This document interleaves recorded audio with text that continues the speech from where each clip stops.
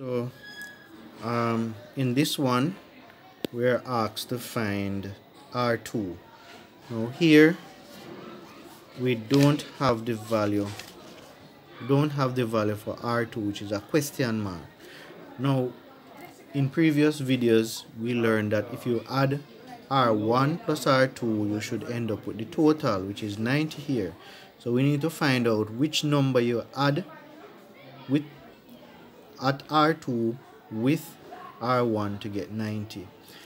So the formula is that we take away R1 from the total to give us R2. So here I had gone ahead and done that. So here we have RT. R2 is equal to RT minus R1. So we take away R1 from RT. So we have R2 is equal to 90, which is RT, minus R1, which is 30. And when we do that, we end up with 60 ohms.